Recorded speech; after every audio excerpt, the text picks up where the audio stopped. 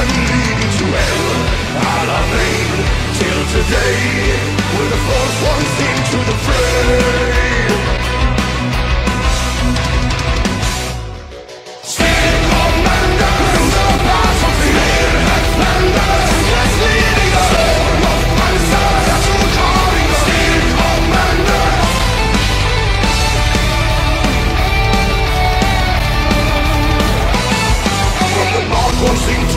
to the beast known as the leopard with a chickens.